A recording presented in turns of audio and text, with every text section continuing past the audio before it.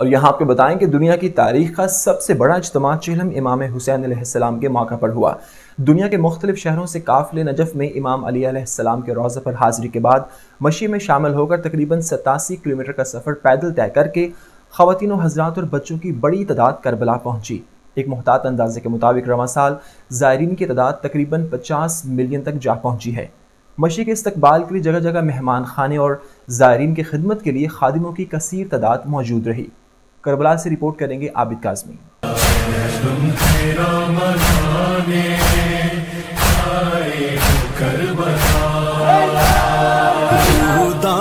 गम सुनाने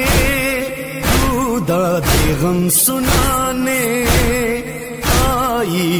करबला नवासा रसूल इमाम हुसैन सलाम का चहलम अरबाइन 2022 का आगाज़ हो चुका। यकम सफ़र से ही नजफ अशरफ से इमाम अली सलाम के रोज़ा अकदस पर हाजिरी के बाद मशी का आगाज़ हो जाता है, जो तकरीबन नजफ से करबला, जायरीन, सतासी किलोमीटर का पैदल सफ़र करके करबला पहुँचते हैं। रास्तों में जगह जगह मौके बने होते हैं, जहाँ जायरीन की खिदमत, उनकी रिहाइश और जरूरियात ज़िंदगी की हर चीज़ मुहैया की जाती है। थके हारे जायरीन की खिदमत के लिए मकामी लोगों ने अपने घरों को वक्फ कर रखा होता है, ताकि वो जायरीन, जिनको इमाम हुसैन सलाम का मेहमान समझ कर खिदमत करते हैं, उनकी खिदमत में किसी किस्म की कमी न रह जाए। ये काफिले तकरीबन तीन दिनों में करबला पहुँच जाते हैं, जहाँ एहराम के इर्द गिर्द रिहाइश पजीर होते हैं। दुनिया भर से मुखैर हजरात इनके ताम और रिहाइश का बंदोबस्त भी करते हैं। नजफ से करबला तक के रास्तों में इंडियन, पाकिस्तानी, ईरानी और अरबी मौके बने होते हैं, जो बड़े बड़े बिज़नेस कम्युनिटी के लोगों ने जगह खरीद कर उसमें सहूलियात मुहैया कर रखी होती है। अरबाइन दो हज़ार बाईस का इज्तम दुनिया की तारीख का सबसे बड़ा इज्तम कहा जा रहा है। यहाँ के सरकारी आदादोशुमार के मुताबिक ईरान से इस वक्त तक 20 मिलियन, बाकी ममालिक से 10 मिलियन, जबकि मकामी लोगों को मिलाकर तकरीबन 50 मिलियन तक ये तादाद पहुँचने का इम्कान है, जो दुनिया की तारीख का सबसे बड़ा मजहबी इज्तम होगा।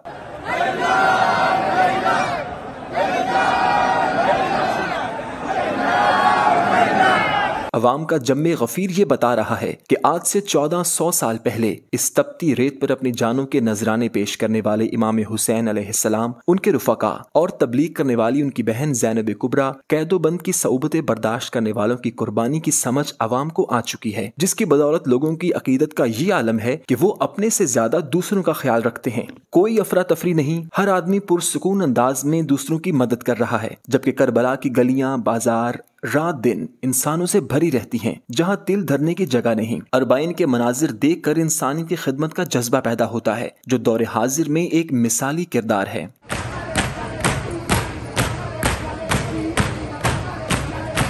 इस दौरान मौकब के इंचार्ज उलमा कराम और दीगर ने सी एन ए न्यूज़ से बात करते हुए कहा कि ये इश्क हुसैन का सफ़र है, जो हर एक जायर अकीदत एहतराम से करता है और उनकी खिदमत करने वाले फख्र महसूस करते हैं। यही वजह है की खिदमत करने वाले ज़्यादा, जबकि खिदमत करवाने वाले कम पड़ जाते हैं।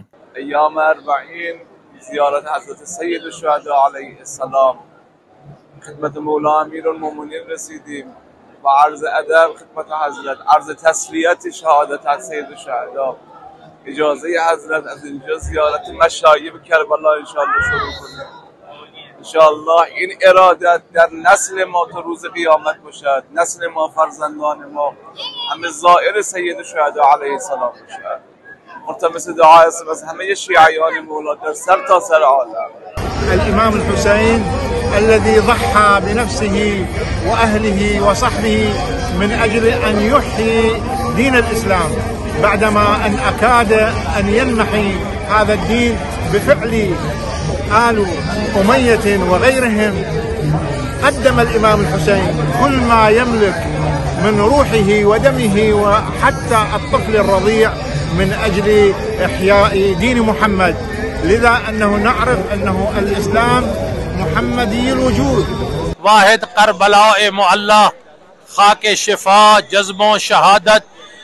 कुर्बानियों और इसार की सरजमीन है।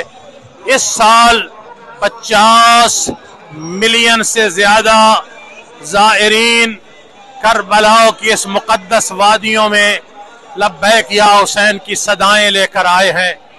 फ़कत ईरान से 20 मिलियन से ज़्यादा लोग पहुँचे हैं। इराक के लोग अमेरिका से, ऑस्ट्रेलिया तक और अफ़गानिस्तान, पाकिस्तान से लेकर कोई दुनिया का खत्ता, गोशा, शहर नहीं जहाँ से यहाँ नुमाइंदगी नहीं है। अल्हम्दुलिल्लाह, मेरा जो मेन मकसद है, वो सैयद शहदा हज़रत इमाम हुसैन इस्लाम की अजादारी को आगे बढ़ाना और ज़ायरीन की खिदमत करना है। अरबाइन, हज से कई गुना ज़्यादा जो है, रश होता है।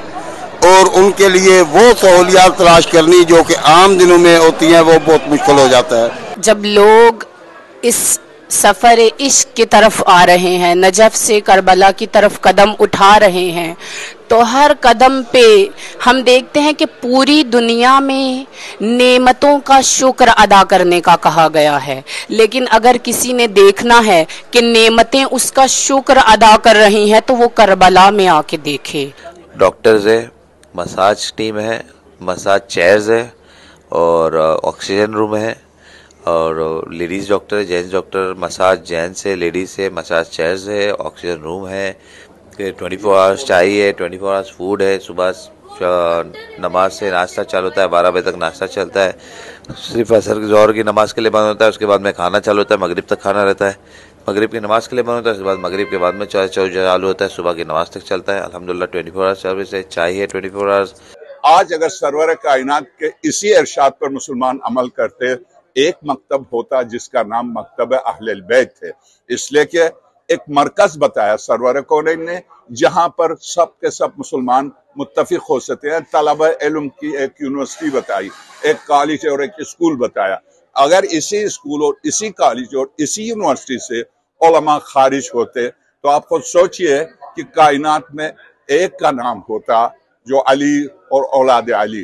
खैर, अगर अली शनास होते तो आज मुझे अरबईन समझाने की, अरबईन बताने की ज़रूरत न होती। हर एक जायर की कोशिश होती है कि वो शहदाय करबला के तमाम मकाम की जियारत करे। यही वजह है कि करबला की पूरी सरजमीन गलियाँ बाज़ार, या हुसैन या हुसैन की सदाओं से गूंजती रहती हैं। Abid Kazmi C N news Karbala Iraq.